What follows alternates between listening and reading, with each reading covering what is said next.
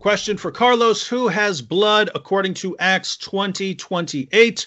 And what does that entail? I want Anthony to speak on this also. It's a very well known variant there. So it says, Keep watch over yourselves, over the whole flock of which the Holy Spirit has appointed you overseers, in which you tend the church of God that he acquired with his own blood. So some translations there apply it to God. Again, this is a matter of so called textual criticism. So you can go and check out Daniel Wallace, uh, Bart Ehrman, and others.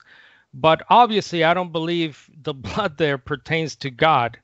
Uh, if you believe God can bleed, uh, and again, when I say God, by the way, I mean God in the ultimate sense of the word. We all know that there, the Bible uses God in a secondary sense, like, of course, Moses, the judges are called gods, God, uh, the messengers, the angels are called gods, and so on.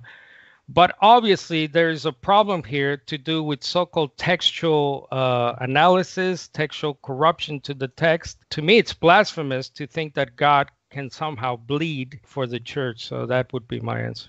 Uh, notice what Carlos does here. There is a textual issue. I think textual scholars have done a great job establishing that the text really says, uh, you know, that God purchased the church with his own blood.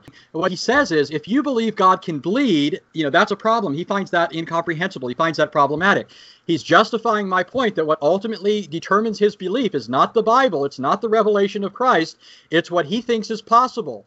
I would submit to you that you should not let human philosophy and traditions take you captive, but be captive to the Lord Jesus Christ and to his word. If his word says that he bled and he's God, then you have your answer. In fact, Paul makes this very point in 1 Corinthians 2 8, as I already pointed out. The Lord of glory was crucified. The Lord of glory is a title that comes from Psalm 24 for Yahweh, the same psalm applied repeatedly to Jesus in the New Testament. So, yes, God took on a human nature, had blood, and died and bled.